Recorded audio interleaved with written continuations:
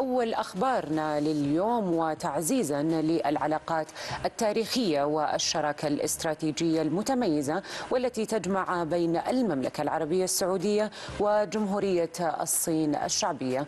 وصل اليوم الرئيس الصيني تشي جين بينغ إلى المملكة في زيارة رسمية لعقد قمة سعودية صينية برئاسة الملك سلمان والرئيس تشي ومشاركة ولي العهد وطبعا للوقوف على هذه الزيارة والقمة ينضم لنا عبر سكايب الدكتور عبد الله العساف أستاذ الإعلام السياسي. يا هلا وسهلا فيك ومساك الله بالخير دكتور عبد الله أهلا وسهلا حياك الله مها حياك الله أودي حيا المشاهدين الكرام.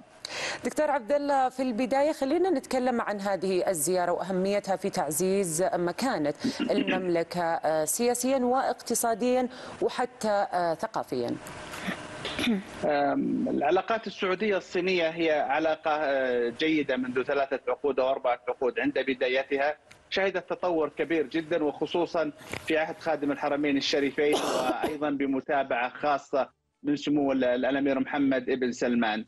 يجب أن ننظر إلى هذه العلاقة بمنظارها الحقيقي وهي أنها ليست مشروعا سياسيا بحتا أو خالصا بل هي مشروع سياسي اقتصادي ثقافي. المملكة العربية السعودية تسعى مع الصين لتحقيق رؤية المملكة العربية السعودية 2030 التي تتقاطع مع أيضا رؤية مماثلة للصين هي رؤية الحزام. والطريق السعودية تقع على مفترق طرق في ثلاثة نقاط مهمة جدا تهم هذا المشروع الكبير والعملاق.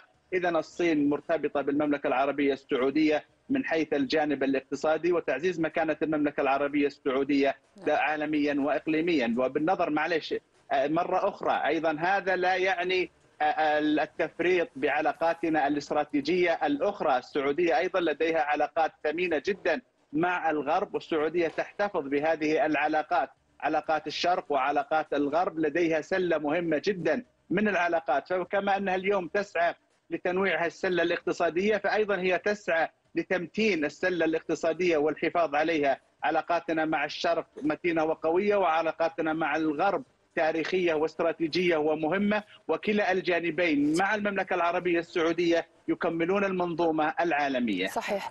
دكتور عبد الله برأيك إيش هي أبرز الملفات اللي راح تكون مطروحة؟ طيب أنا أعتقد إنه بما أن الصين هي المشتري رقم واحد للنفط السعودي ولأن السعودية لديها رؤية مهمة جدا ولأن الصين لديها الكثير من القدرات والخبرات والإمكانيات ستكون البعد الاقتصادي أو الملف الاقتصادي حاضر من حيث الشراكة الاقتصادية من حيث تنويع الاستثمارات السعودية الصينية. شهدنا إنه الاستثمارات قفزت أكثر من 30 مليار عفوا قرابه ال 90 مليار دولار خلال الفترة الماضية. وأيضا هي مرشحة للزيادة من خلال ما ما رشح عن أنباء انه هناك اتفاقيات لتوقيع اتفاقيات بتزيد عن 110 ريالات أو 30 مليار دولار. اذا السعودية والصين علاقاتهم الاقتصادية تنويع المشاريع الاستثمار في البنى التحتية الاستثمار في الذكاء الاصطناعي. فضلا عن المشاريع أيضا الثقافية التي تستحدث التقارب فيما بين السعودية والصين ولا ننسى انه خادم الحرمين الشريفين الله يحفظه افتتح مكتبة الملك عبد العزيز في جامعة بكين كنوع من تعزيز الثقافة العربية الصينية. نعم نعم. أيضا نتكلم عن نقطة جدا مهمة ونحكي عن التعليم والمناهج بالتحديد. طبعا اليوم أدرج فيها أو أدرجت فيها اللغة الصينية أيضا. كيف تقرأ هذا الموضوع دكتور عبد الله وكيف ممكن أنه ينعكس على تعاون البلدين اليوم؟ أنا كنت في في عنيزة لأحضر حفل للإعلام والعلاقات العامة. فإذا هم يفاجئوننا بطفلة صغيرة ترحب بنا باللغة الصينية. كان مما أثار إعجابي تنوع اللغات بالمناسبة ليست فقط لغة صينية بل كانت هناك اللغة الكورية واللغة الصينية. ربما من أبرز اللغات التي قوبلنا بالتحية بهما من قبل وردتين صغيرتين من براعم الوطن. الصين اللغة الصينية هي هي ستكون هي لغة العلم والمعارف.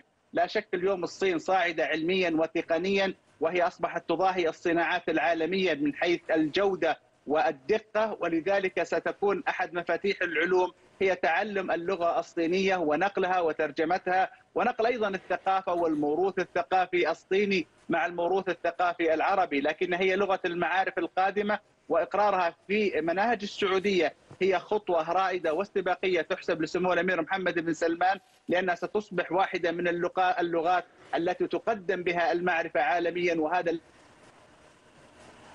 نعم نعم. شكرا لك دكتور عبد الله العساف على مداخلتك وعلى تواجدك معنا لهذا اليوم. كلنا فخورين.